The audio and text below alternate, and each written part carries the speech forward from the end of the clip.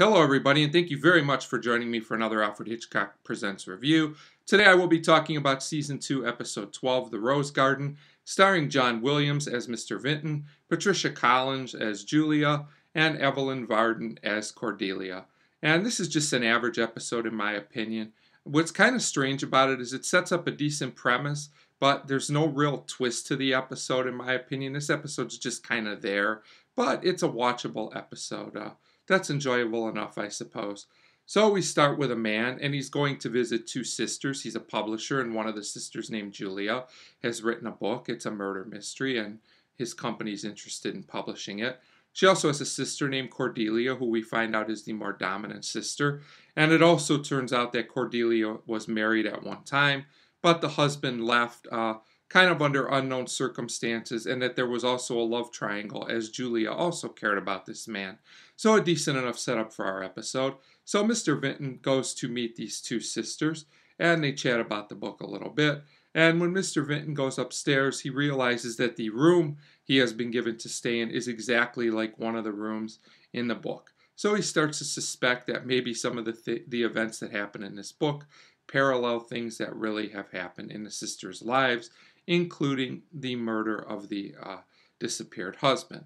So at this point, Mr. Vincent continues to explore the house and he catches Cordelia reading parts of the manuscript. Uh, she said she wanted to read it, and the episode does do a pretty good job of keep, keeping us in suspense about Cordelia.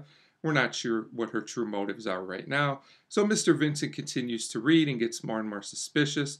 So he decides to have a one on one chat with Julia, and they bring up a few specific scenes in the book. And uh, at this point, Vincent also brings up, you know, why were the police never called?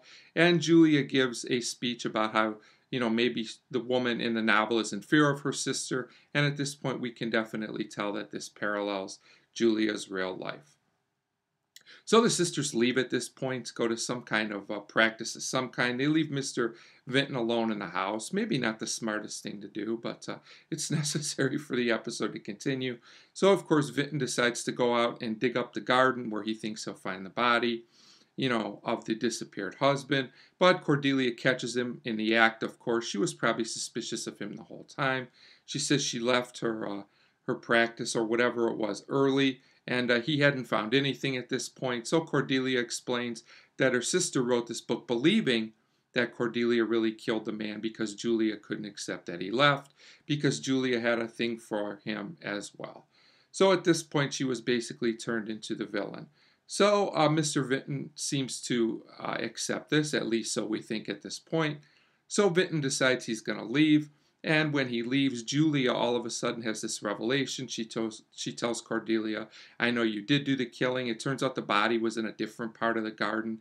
I thought this part was a little bit strange, but whatever. You just got to go with it." So at this point, Cordelia pulls out a gun and says she'll eliminate Julia too. So she find out she really was the killer.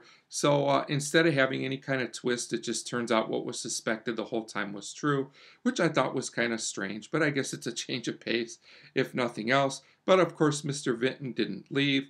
So I'm not sure if he just had a change of heart or if this was kind of a setup the whole time. Wasn't really too clear, but it works out fine. So it looks like Cordelia is now in trouble for murder, and it looks like things turn out okay for uh, Mr. Vinton.